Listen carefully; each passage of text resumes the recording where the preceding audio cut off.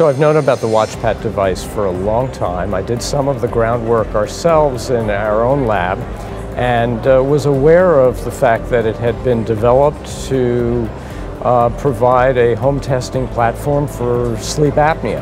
Physiology is the core of medicine anyway, right? We have somehow forgotten that this, uh, all our guidelines in sleep has been derived from physiologic signals.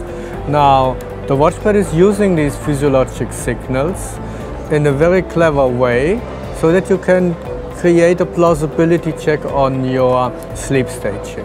The WatchPat is an attractive device for home testing, primarily because it's easy to use, easy to deploy, easy to train patients on how to deploy it, and not cumbersome at all. And so it makes the home testing a lot easier.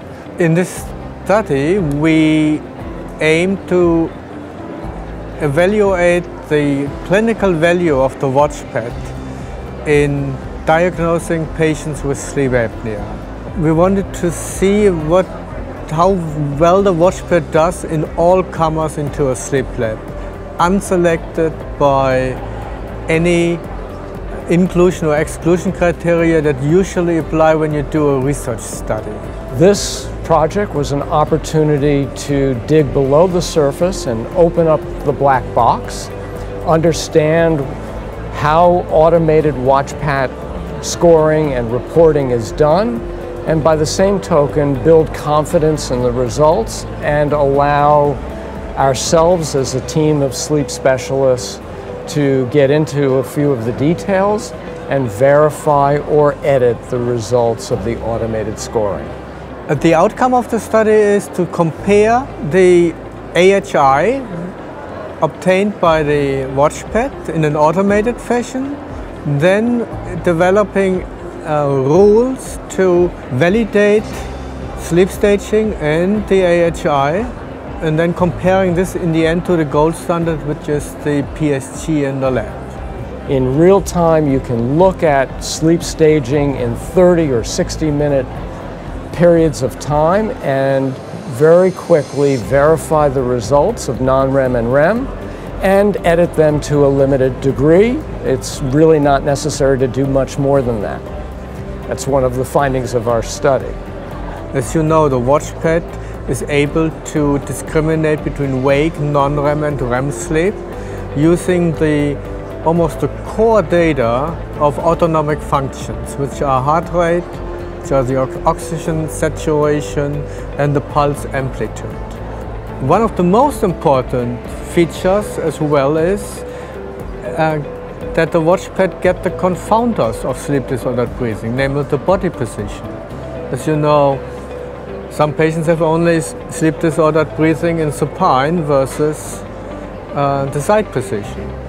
So this is uh, very reliably measured as well. WatchPAT itself provides a really good, reliable representation of sleep architecture and a well-validated estimation of sleep apnea disease status.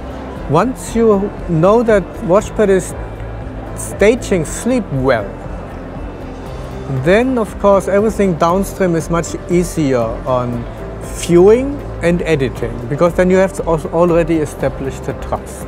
From the perspective of looking at the sleep disorder breathing events, we see the representation of these events with score tags that are provided by the automated software.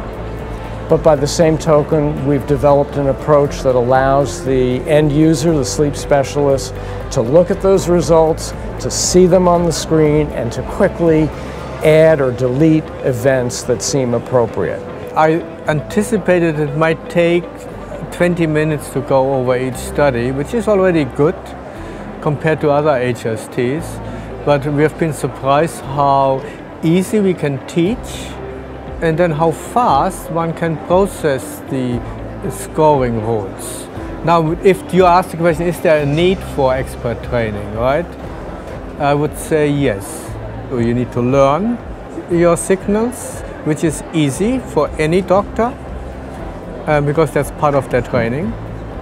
They just need to remind themselves back on what they have learned in the past.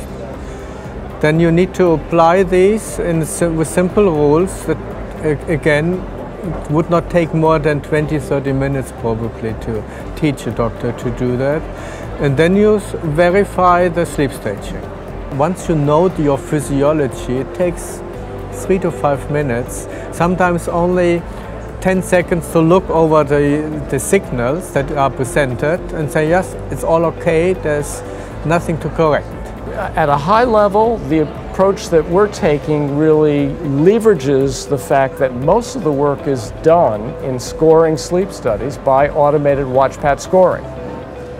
But we've developed an approach that allows us to build confidence that we've either been able to verify or edit and revise the reports and relatively minimal editing is really needed. Um, and I, I dare say it might not even be needed, but it certainly makes us feel good that we've been able to verify most of the sleep architecture on each and every study.